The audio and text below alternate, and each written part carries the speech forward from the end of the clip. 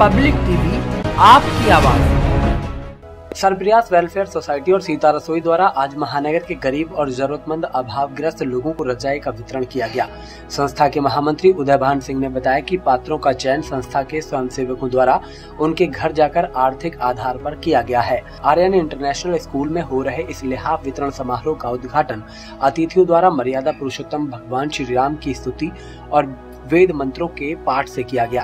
जिसमें विद्यालय के प्रधानाचार्य डॉक्टर हेमंत झा, महानगर अध्यक्ष भारतीय जनता पार्टी, धर्मेंद्र नाथ मिश्रा समाज सेवी और बेटी बचाओ, बेटी पढ़ाओ की संयोजिका, अल्पना रितेश गुप्ता समाज सेवी और वरिष्ठ भाजपा नेता मनोज गुप्ता ने कार्यक्रम का शुभारंभ किया। विशेष सानिध्य प्रबंधक Maharaja Harishchandra degree college doctor Kavya Saurabh Rastogi का रहा। संस्था के अध्यक्ष संजीव शर्मा ने बताया की संस्था पिछले सात वर्षो ऐसी महानगर में रजाई का वितरण करती आ रही है।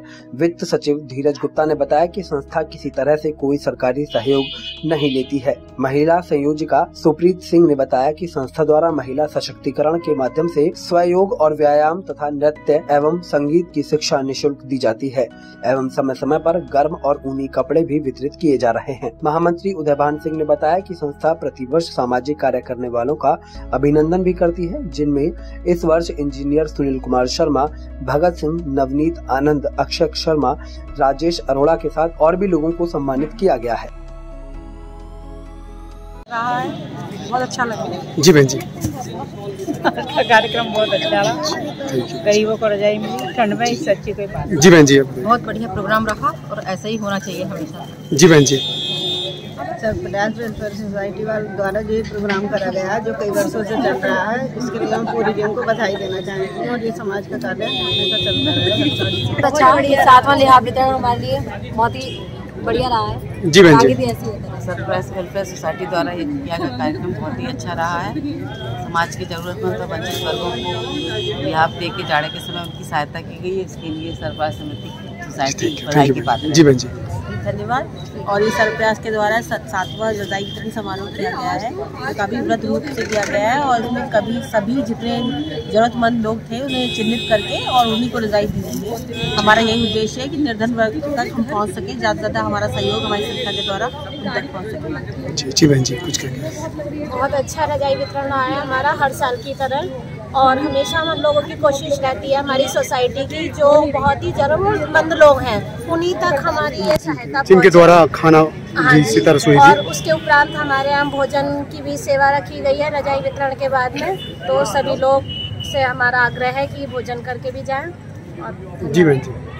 सरप्रयास समिति के द्वारा किए जाने वाले समाज सेवा के विभिन्न प्रकल्पों में से एक एक एक ये भी प्रकल्प है कि जो जिसमें हम हर हर साल ज़रूरतमंदों को रज़ाई का वितरण करते हैं। आज भी वही कार्यक्रम बहुत सफलतापूर्वक संपन्न किया गया और समाज की सही अर्थों में ये सेवा बहुत अच्छा कार्यक्रम। जी हर साल की तरह इस बार भी हमारा जो लिहाज सर्व प्रयास वेलफेयर सोसाइटी की तरफ़ से ये नेकी का कार्य किया जा रहा है। सीता रसोई का प्रतिदिन साई मंदिर के सामने खड़ा होना और ऐसे लोगों को भोजन कराना जिनको शायद भर भरपेट खाना नसीब नहीं होता तो ये अपने आप में अनिल जी मैं निवेदन कर रहा हूँ पाँच मिनट पाँच मिनट और साथ ही आज रजाई वितरण का जो कार्यक्रम किया गया, ऐसे निर्धन लोगों के लिए और ये लिहाज वितरण का कार्यक्रम संस्था के द्वारा पिछले सात वर्षों से किया जा रहा है। संस्था जो चयन करती है पात्रों का, हमारे सभी स्वयंसेवक भाई इनके घर जाते हैं, इनकी आर्थिक स्थिति को देखते हैं। आर्थिक स्थिति के देखकर उनका आकलन करके फिर उनको लिहाज हम देते हैं। आज का जो कार्यक्रम किया गया, इसी के संबंध में यहाँ हमने पात्रों को बुलाया और उनके द्वारा यहाँ पर कार्यक्रम किया गया। हम किसी भी रूप में सरकार से कोई सहायता नहीं लेते हैं। आर्थिक रूप से जो सहयोग लेते हैं, वो समाज के वर्गों से लेते हैं, समाज से भाइयों से लेते हैं और लोगों से लेते हैं। समाज सेवा के क्षेत्र में निरंतर अपना योगदान दे रही है।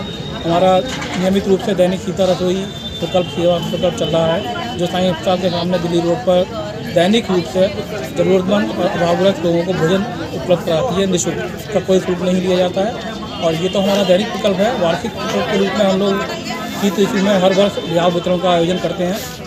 पिछले सात वर्षों से हम लोग लगातार बिहार वितरण का आयोजन कर रहे हैं। इस बार आज उन्नीस तारीख को हमने यहाँ पे आर्यन इंटरनेशनल स्कूल विद्या विहार में लगभग तीन सौ लिहाफों का वितरण किया गया है, जो पात्र चयनित किए गए हैं उनको।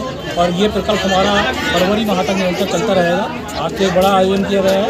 उसके बाद अगले सप्ताह हम लोग संडे में केजरीपुर कॉलोनी गंगा बिहार में आयोजन किया जाएगा। वहाँ पर कुछ विभागों का वितरण किया जाएगा। हमने पात्र चयन किए हुए हैं। इसके पश्चात एक गाँव में जाकर हम लोग कुछ पात्र चयन किए हैं, वहाँ पर जाकर यहाँ वितरण किया जाएगा क्योंकि निरंतर फरवरी माह तक जब तक खेती नहीं चलेगी, तब तक ये आयोजन चलता रहेगा यहाँ एक तो भोजन वितरण का कार्य है, जो डेली इसी तरह रसोई के द्वारा जो अभावग्रस्त लोग हैं उनको चला खिलाया जाता है। दूसरा प्रतिवासी लिहाफ वितरण का कार्यक्रम ये दोनों कार्यक्रम बहुत अच्छे चलाते हैं ये संस्था द्वारा।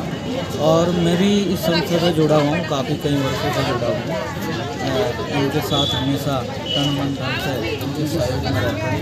मेरी अपील है कि ऐसी संस्थाओं से हमारे जो जो नवयुवक साथी हैं, जो साथी हैं, प्रेरणा लेने के बाद जुड़ना चाहिए, क्योंकि एक समाज सेवा का काम है। इससे जुड़ के हम जो अभावग्रस्त लोग हैं, जो गरीब लोग हैं, उनकी मदद करें।